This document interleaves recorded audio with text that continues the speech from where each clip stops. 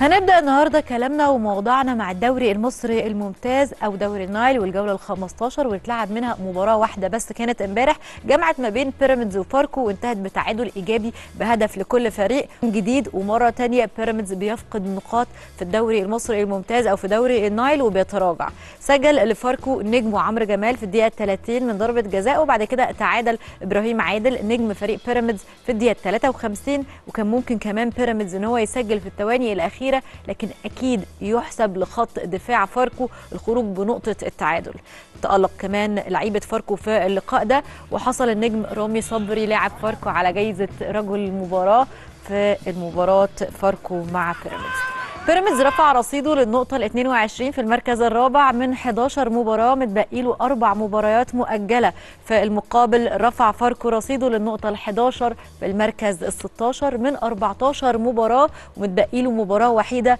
آه كمان النهاردة هيكون في مباراة وحيدة برضه في الجولة ال 15 من دوري النايل. هتكون الساعة 7 مودرن فيوتشر مع زاد أف سي. وإن شاء الله دي هتكون اللقاء أو ده هيكون اللقاء الوحيد بالنسبة لدوري النايل النهارده. النهارده.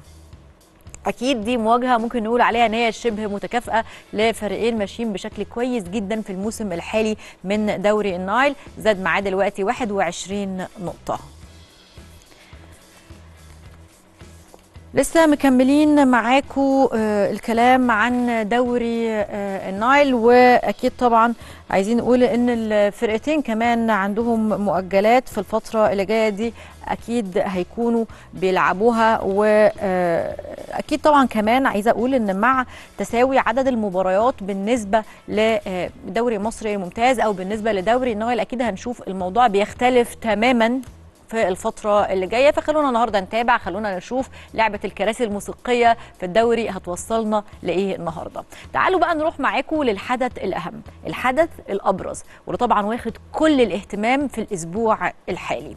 أكيد إحنا بنتكلم عن كاس مصر في اللي هيتلعب إن شاء الله بكرة. هيتلعب في دولة المملكة العربية السعودية الشقيقة أكيد في الرياض في ملعب الأول بارك.